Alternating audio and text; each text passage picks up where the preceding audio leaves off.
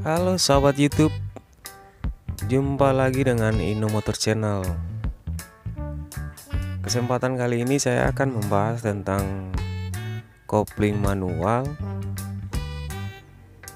Jupiter Set New atau JZN Robot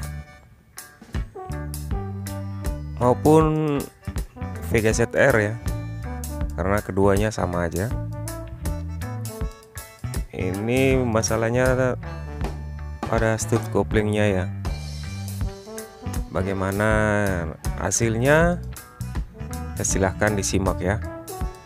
Prosesnya gimana? Monggo.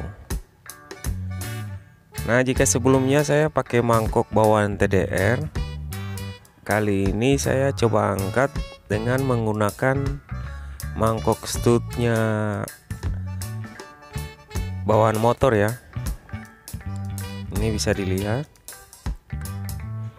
Ini ada perubahan-perubahan pada mangkok studnya yaitu di mana diameter lubang stud yang aslinya itu kan kecil ya. Ini dilakukan perluasan atau pembesaran lubangnya untuk menyesuaikan ukuran dengan studnya bawaan blok TDR ya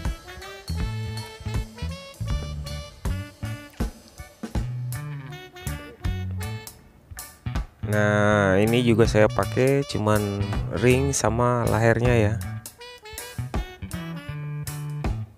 Ini cuma dua aja.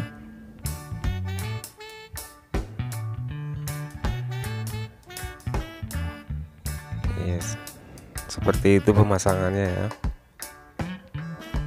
Jadi jangan sampai lahirnya di luar ya Lahirnya harus di dalam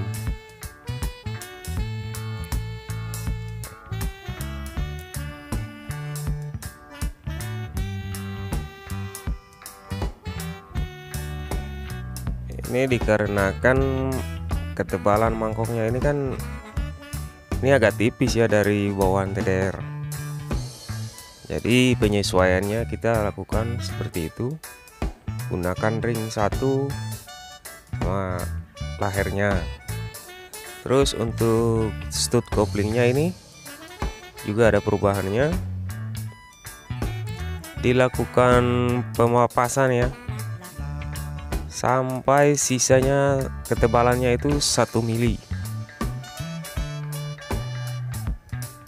Jadi separohnya dibuang sampai sisanya itu cuma satu mili aja.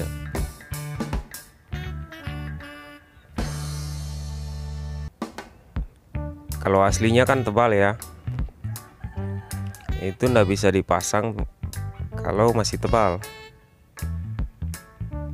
Itu pasti efeknya lost kick dan slip coupling ya oke ini proses pemasangannya seperti ini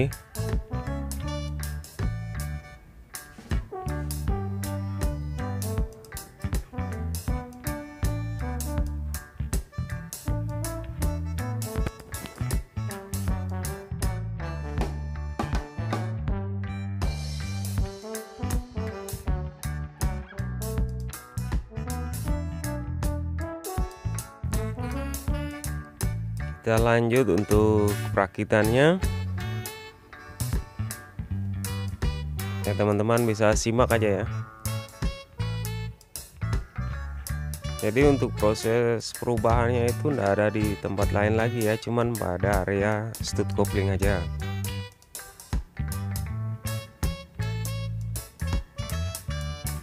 Ya, nanti perubahan-perubahan atau settingannya kayak gimana ya teman-teman bisa dilihat ya.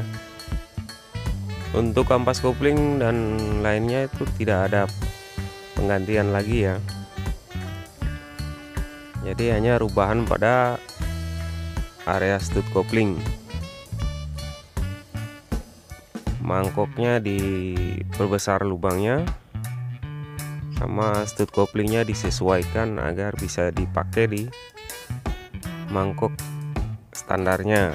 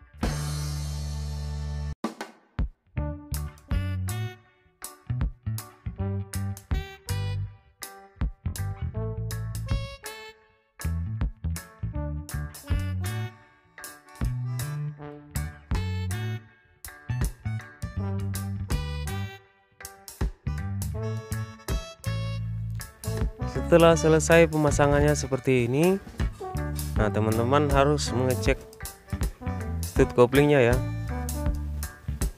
Harus benar harus ada spasinya. Nah ya bisa di bis, kalau diputar enteng digoyang enteng kayak gini ya.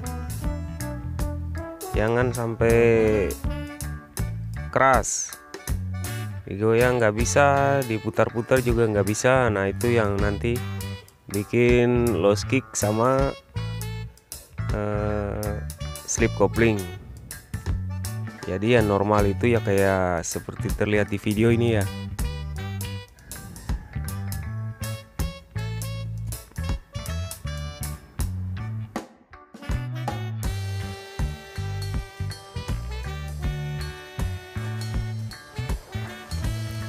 Jadi buat teman-teman yang punya permasalahan pada Jupiter Set maupun Vega Set R ketika dipasang kopling manual malah ada yang lost kick ada yang slip kopling ada yang nggak bisa ngopling. Nah semoga video ini bisa menjawab semua permasalahan teman-teman ya.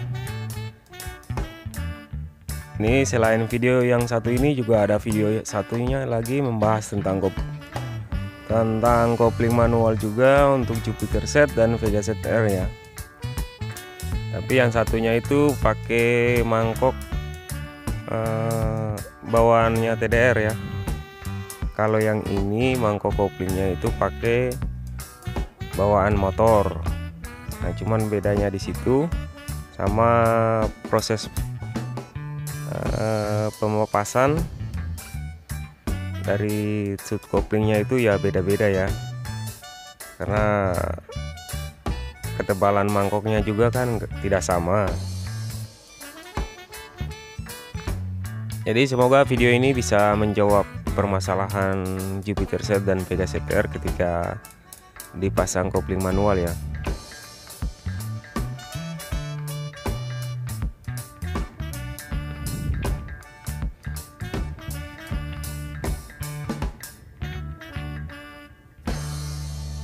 Ya buat teman-teman juga yang sudah subscribe ke channel saya terima kasih telah mendukung channel saya.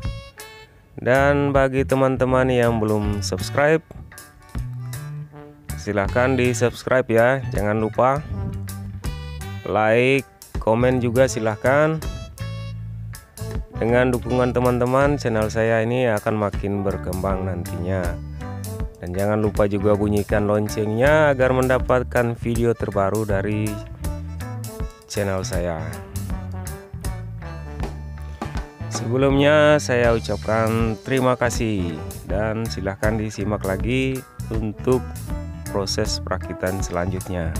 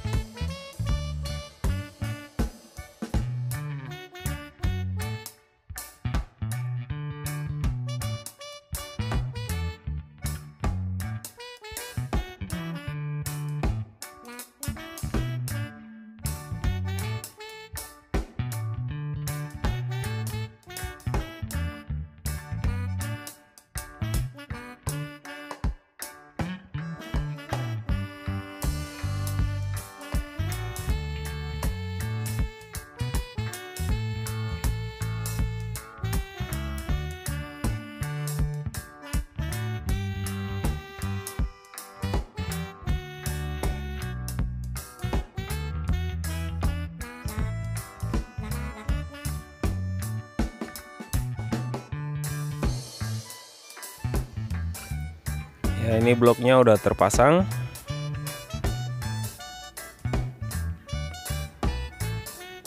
Nah selanjutnya kita coba ngopling ya. Empuk apa enggak nih? Oke bisa dilihat ini mantap ya koplingnya.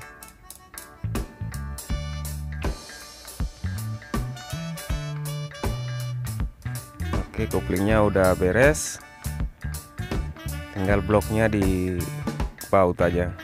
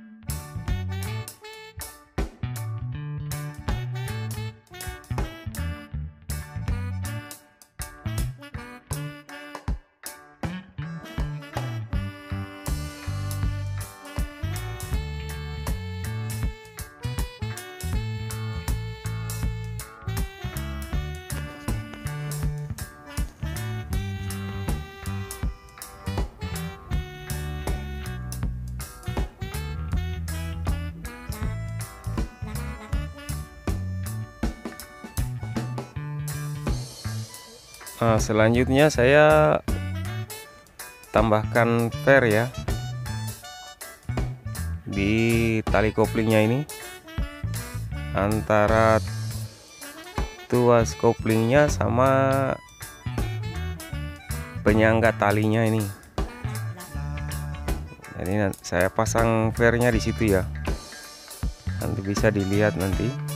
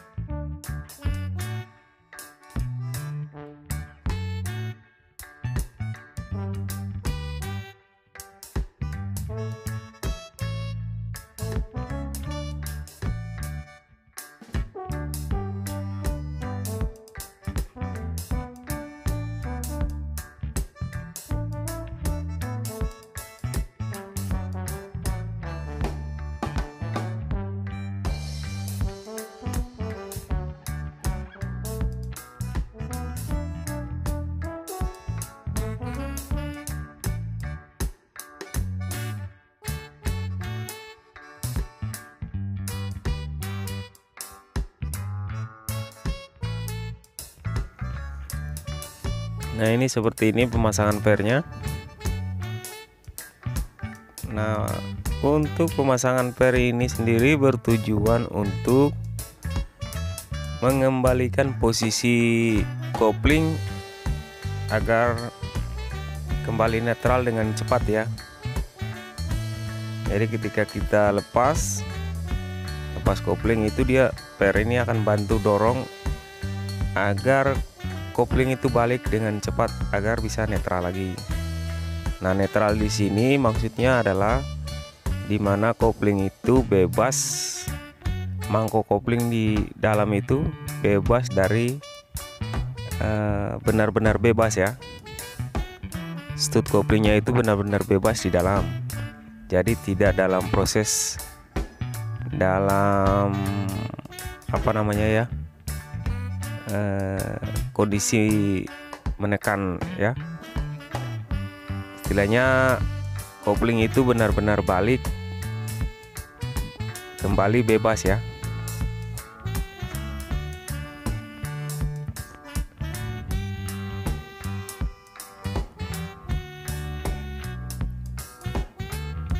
Nah, kalau koplingnya benar-benar ini apa namanya? Eh, bebas jika didorong kembali itu dia bebas maka kickstarter itu nggak akan bermasalah. Tapi kalau koplingnya itu baliknya eh, tidak kembali bebas atau netral lagi itu bisa bermasalah pada kickstarternya. Nanti kickstarternya pada lost kick lagi. Ya ya seperti itu ya pemasangannya. Ini cuman mengantisipasi aja. Sebenarnya sih nggak dipakai juga tidak nggak apa-apa ya. Cuman saya lebih sarankan pakai agar apa namanya itu benar koplingnya itu benar-benar bebas kembali. Kembalinya ke posisinya itu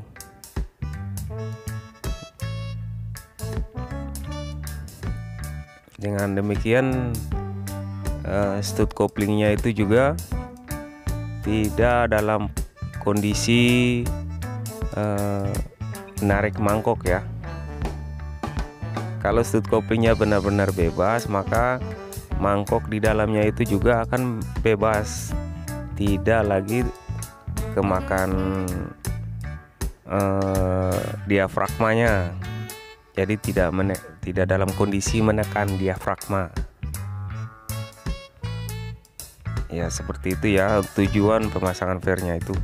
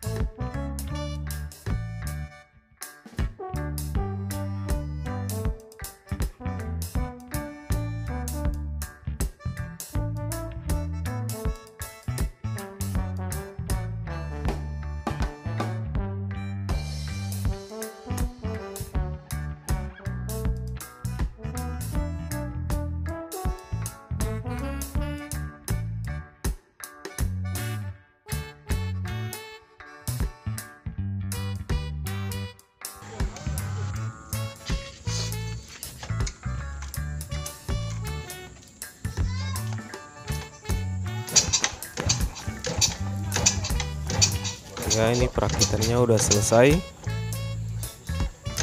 Ini kickstarternya juga udah mantap. Tidak ada lossnya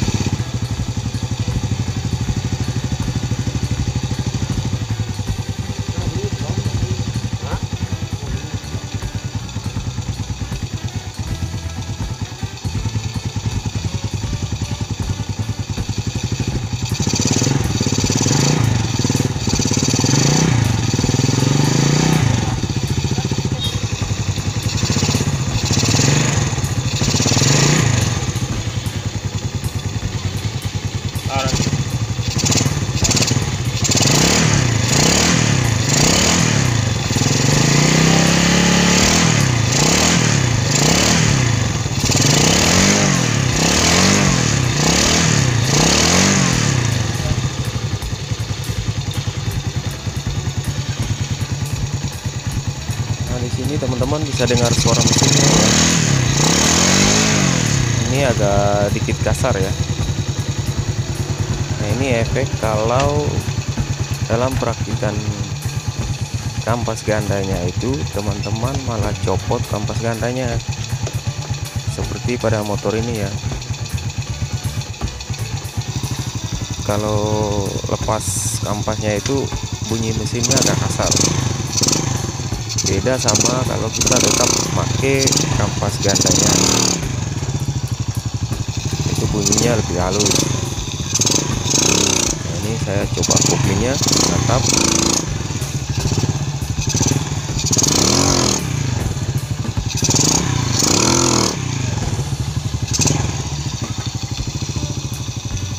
Ini coba test ride nya jadi buat teman-teman kalau rakit jangan dilepas kampas kok kampas gandanya. Usahakan dipakai semua komplit ya. Kampas gandanya itu jangan ada yang dilepas. Cukup dipaskan lubangnya lalu terus di tas aja. Jangan dilepas. Risiko bunyi kasar itu kalau dilepas itu besar ya kayak motor yang saya rakit ini kan udah ditangani sebelumnya. Sama bengkel lain jadi saya cuma perbaiki kopling setting koplingnya aja. Ini larinya mantap. Demikian teman-teman solusi untuk Jupiter set dan Pegasus R kopling manual. Semoga videonya bisa bermanfaat. Terima kasih